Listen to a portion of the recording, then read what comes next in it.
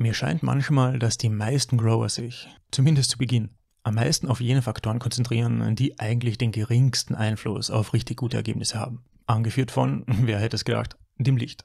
Versteht mich nicht falsch, Qualität und Effizienz der LED haben natürlich Einfluss aufs Ergebnis. Mehr als ein paar Prozent, zumindest unter den namhaften Herstellern, sind es dann aber auch nicht.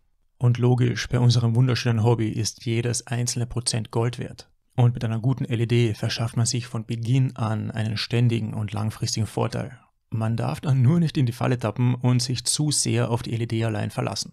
Das kann schnell passieren, immerhin ist die Beleuchtung in der Regel ja die größte Ausgabe. Ein erfolgreicher Grow lässt sich aber halt nicht kaufen. Gutes Licht ist Potenzial, das es zu nutzen gilt. Es versteht sich hoffentlich von selbst, dass man die Lampenstärke an die Zeltgröße anpasst, Zelt und Lampe mit entsprechender Belüftung kombiniert, hochwertige, für unsere Lieblingspflanzen entwickelte Erde und Dünger verwendet. Das sind die Basics für den Erfolg. Ein weiterer Faktor, noch im Zusammenhang mit dem Licht, wäre, dass man ein wenig Intelligenz integriert. Ich denke dabei an Sachen wie Sonnenaufgangs- und Untergangsfunktionen. Ein solcher Bluetooth-Dimmer kann nicht nur das Ergebnis verbessern, sondern reduziert auch den Stromaufwand. Also unterm Strich höhere Effizienz. Die zurzeit einzigen Hersteller mit dieser Funktion sind Sunlight und Horty One. Den Sunlight Bluetooth Dimmer durfte ich persönlich testen und muss sagen, das Teil kann schon was. In Sachen Belüftung könnte man noch ein paar Prozent rausholen, wenn man eine Temperatursteuerung mit reinnimmt. Muss auch nicht mal übertrieben teuer sein, bei Lüftern zahlt man wesentlich mehr für Laufruhe als für Regelung. Ihr seht schon Leute, es zeichnet sich ein Trend ab. Preiswertes und Premium-Equipment unterscheiden sich im Ergebnis am Ende nur geringfügig. So auch beim Zelt. Dort muss ich den günstigeren sogar eindeutig bessere Noten ausstellen. Die Lichtreflexionsgrade machen am Ende keinen so großen Unterschied. Ihr Verhalten in Sachen Wärmereflexion schon eher. Bevor es weitergeht, vielleicht habt ihr einen kurzen Moment für den Daumen. Dankeschön. Ich habe ja schon öfters erwähnt, dass ich weiße Innenbeschichtung hauptsächlich im Sommer nehmen würde, eben weil sie weniger Wärme reflektiert und das Innere der Growbox etwas kühler bleibt.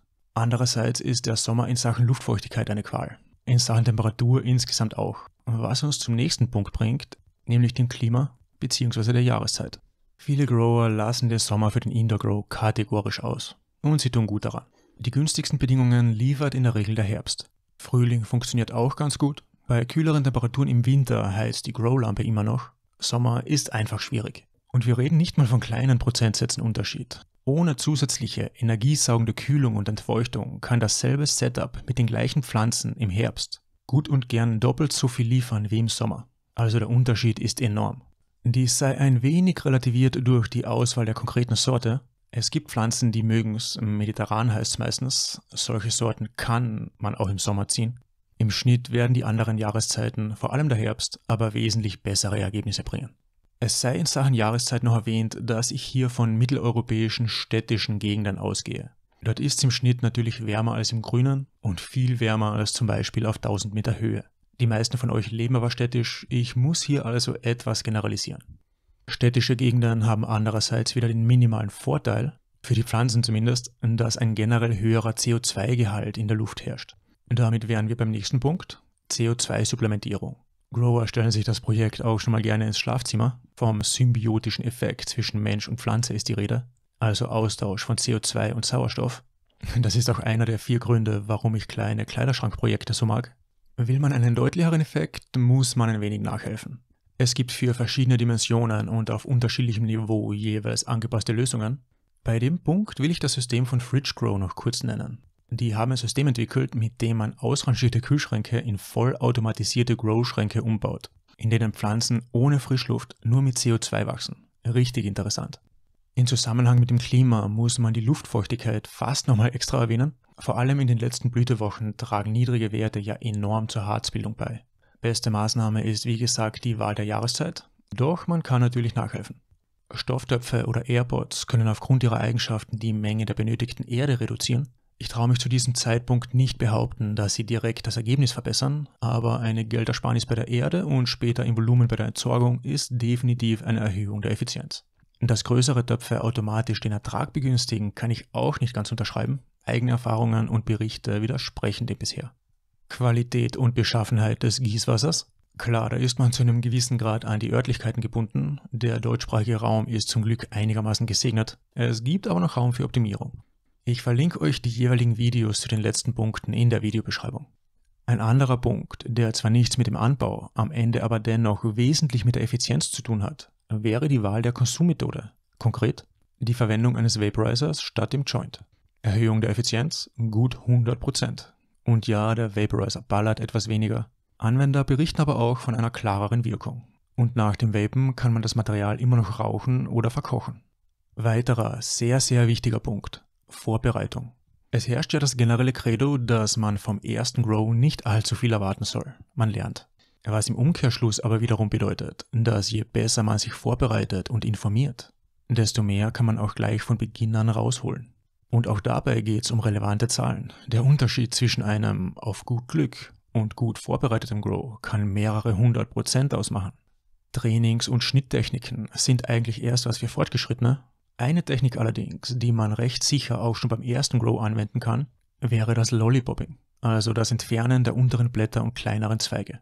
Ziel der Maßnahme, die Pflanze investiert mehr ihrer Energie in die Blütenbildung. Potenzielle Erhöhung des Ertrags, im Schnitt angeblich gut 20 Prozent. Die zweite Technik, bei der man gezielt Teile von Pflanzen zugunsten der Blüte entfernt, wäre das Entlauben. Dabei entfernt man in der Blütephase bewusst große Blätter, die den unteren Blüten das Licht nehmen. Dies ist allerdings mit Risiken verbunden. Viele Grower stellen die Maßnahme vollständig in Frage, also muss zu Beginn nicht sein. Ein offensichtlicher, sehr, sehr wichtiger, jedoch stark vernachlässigter Punkt ist die kontinuierliche Sorgfalt und eine gewisse Disziplin. Man kann alles optimiert haben mit Premium-Komponenten, beste Erde, bester Dünger, ideale Bedingungen, CO2. Wenn man sich nicht regelmäßig und sorgfältig um die Pflanzen kümmert, nicht gießt, weil man vielleicht schon zu müde ist, den Abstand der Beleuchtung nicht anpasst, weil man gerade kein Maßband holen will, ständig vergisst, das Gießwasser vor Verwendung ruhen zu lassen, die Düngemenge ungenommen ist, Temperatur und Luftfeuchtigkeit nicht im Auge behält. Die Liste der potenziellen Nachlässigkeiten ist lang. Es verhält sich mit den Pflanzen wie überall im Leben. Wenn man Dinge zwar weiß, sie aber nicht umsetzt, wenn sie umgesetzt werden sollten, wird der Erfolg leiden. Ich gehe sogar so weit zu sagen, dass der unerfahrene, sorgfältige Grower dem erfahrenen, nachlässigen überlegen ist. Unterschätzt das nicht, Leute. Der Grow ist an einem Tag gestartet, doch es braucht drei Monate Disziplin und Hingabe, ihn erfolgreich zu beenden. Fast genauso wichtig oder zumindest langfristig wertvoll ist eine gewisse Nachbearbeitung. Also reflektiert während und nach dem Grow, was funktioniert hat und was nicht. Vergleicht eure Erfahrungswerte mit denen anderer, also bleibt in Kontakt mit der Community und werdet besser. Zu guter Letzt noch das Offensichtliche. Absolut am effizientesten wäre natürlich, man zieht sich seinen gesamten Jahresvorrat mit Kraft der Sonne. Ich weiß, ist nicht Thema des Videos, aber definitiv wichtig genug, es nochmal zu erwähnen. Nun, liebe Freunde des optimierten Anbaus, um Ergänzung, Kritik, Mitteilung jeder Art sei gebeten. Ihr wisst ja, auf die Art lernen wir auf Turbo. Nächste Woche gibt's wieder einen Grow am Zweitkanal, nämlich aus dem Monsanto-Koffer. Also bleibt dran, genießt die Sonne, wir sehen uns.